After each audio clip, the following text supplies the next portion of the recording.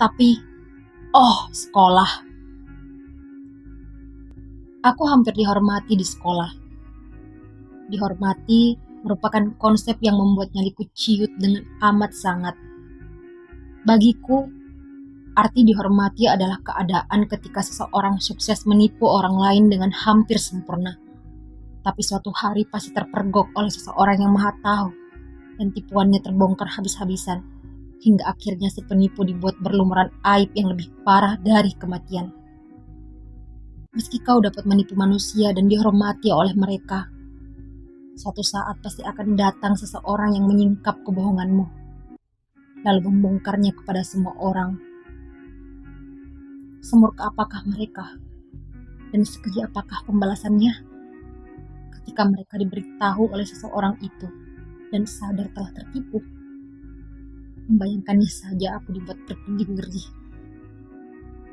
Aku hampir mendapat hormat dari seisi sekolah, bukan karena lahir dalam keluarga kaya, melainkan karena aku dianggap anak yang disebut pintar. Karena sakit-sakitan, tak jarang aku absen sekolah sampai sebulan, dua bulan, bahkan hampir satu tahun ajaran. Setelah agak membaik, aku akan naik angkong ke sekolah untuk mengikuti ujian akhir tahun ajaran. Dan ternyata nilaiku menetapkan bahwa sepertinya aku adalah anak paling pintar di kelas. Saat sedang agak bugar pun, aku tak belajar sedikit pun meski pergi sekolah. Aku hanya menggambar-gambar komik pada jam pelajaran. Kemudian kuperlihatkan, kuceritakan kepada teman-teman sekelasku sewaktu istirahat, dan kubuat mereka tertawa. Untuk pelajaran mengarang, aku hanya menulis cerita konyol. Guruku pernah memperingatkanku soal ini, tetapi aku tak berhenti. Karena aku tahu, diam-diam ia juga selalu menunggu-nunggu cerita konyolku itu.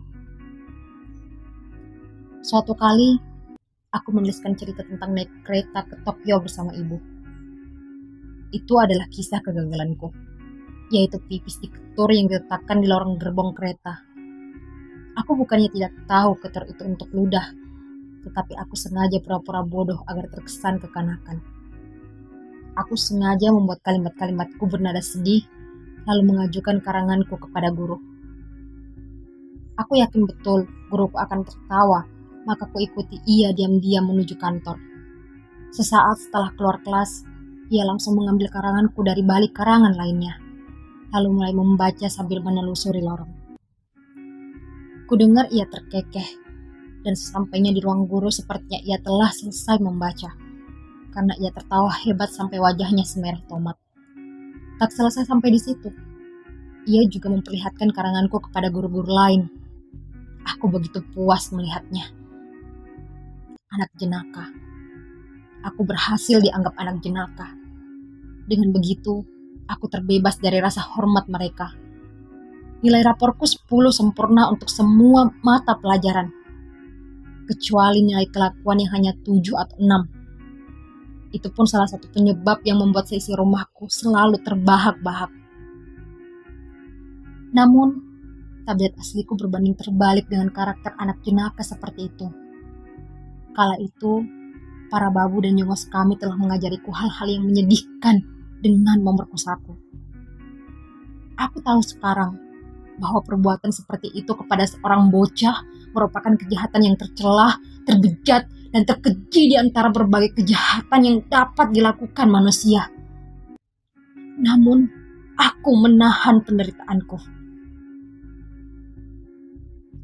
Aku hanya dapat senyum tanpa daya dan bahkan berpikir, lagi-lagi aku menyaksikan salah satu sifat asli manusia. Andai saja aku bisa berkata jujur, mungkin aku bisa dengan lantang mengadukan kejahatan mereka kepada ayah dan ibu. Namun, Aku bahkan tak memahami orang tuaku dengan baik. Tak ada satu hal pun yang dapat kuharapkan dari menggugat kepada manusia. Menyampaikan gugatan kepada ayah, atau ibu, atau polisi, atau bahkan pemerintah pun. Pada akhirnya pernyataanku akan ditenggelamkan oleh dalih orang-orang yang lebih pandai bergaul, yang lebih disukai oleh masyarakat, bukan? Aku memahami sepenuhnya bahwa tak akan ada keadilan untukku pada akhirnya, Percuma menggugat manusia. Lebih baik aku tak mengatakan kebenaran apa pun, terus menahan penderitaanku. Rasanya tak ada jalan lain kecuali terus melawak. Apa? Maksudmu tentang ketidakpercayaan terhadap manusia? Wah, wah, wah. Sejak kapan kau masuk Kristen? Mungkin ada saja yang mencibir begitu. Akan tetapi bagiku, ketidakpercayaan terhadap manusia tak perlu selalu berhubungan dengan agama. Kenyataannya, bukankah manusia termasuk dia yang mencibirku? Hidup enteng saja di tengah ketidakpercayaan satu sama lain, tanpa ingat Yahweh atau Tuhan-Tuhan lainnya. Aku jadi ingat satu kenangan masa kecilku. Seorang tokoh besar dari partai politik ayah pernah datang ke desa kami untuk berpidato. Diantar oleh para jongos, aku pun turut hadir untuk menyaksikannya di teater. Teater itu penuh sesak dan wajah-wajah penduduk satu desa, terutama yang dekat dengan ayahku. Terlihat bertepuk tangan bergemuruh riuh sambutan. Usai acara, para penonton pulang bertiga atau berlima menelusuri dingin malam berselimut.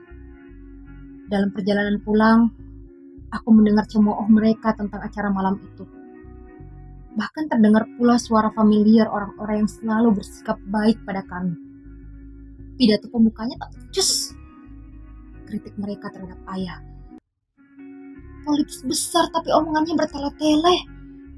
Kata mereka tentang tokoh utamanya yang katanya para kawan itu mencela ayahku dan sang politikus itu dengan nada miring yang menyerupai rasa murka.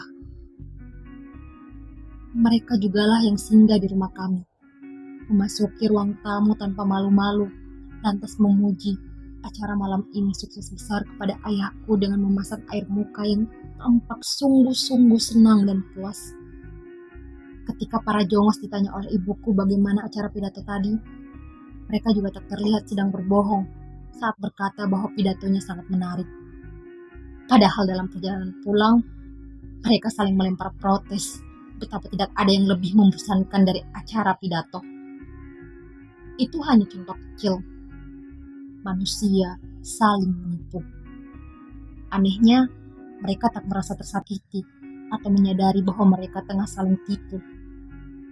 Rasanya hidup manusia itu seperti dipenuhi berbagai kasus ketidaktulusan yang benar-benar cemerlang, yang malah sepertinya dianggap bersih hati, riang, dan ceria. Aku tak terlalu tertarik pada fakta bahwa mereka saling menipu seperti itu. Toh, aku pun sudah melakukan satu bentuk tipu daya, yakni melawak dari pagi sampai malam. Aku juga tak berminat pada nilai baik yang diresepkan buku teks pelajaran moral dan tingkah laku.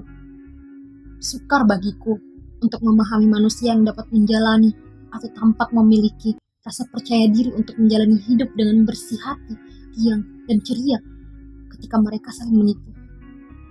Mereka tak pernah memberikan petunjuk yang dibutuhkan untuk memahaminya. Andai mereka memberikannya, aku tak perlu takut begini pada mereka. Tak perlu mati-matian berusaha melayani mereka. Mungkin saja aku jadi bisa menghadapi kehidupan manusia tak perlu mencicipi siksa neraka setiap malamnya. Berarti alasanku terdapat mengadukan perbuatan keji para jongos dan babu pun bukanlah didasarkan pada ketidakpercayaan terhadap manusia. Apalagi, tentu saja bukan ajaran Kristen, melainkan justru karena manusialah yang menutup cangkang mereka rapat-rapat untuk menolak masuknya rasa percaya dari diriku yang bernama Yosua. Ayah dan ibu pun turut berkali-kali menunjukkan kepadaku tindakan yang sukar dipahami seperti itu.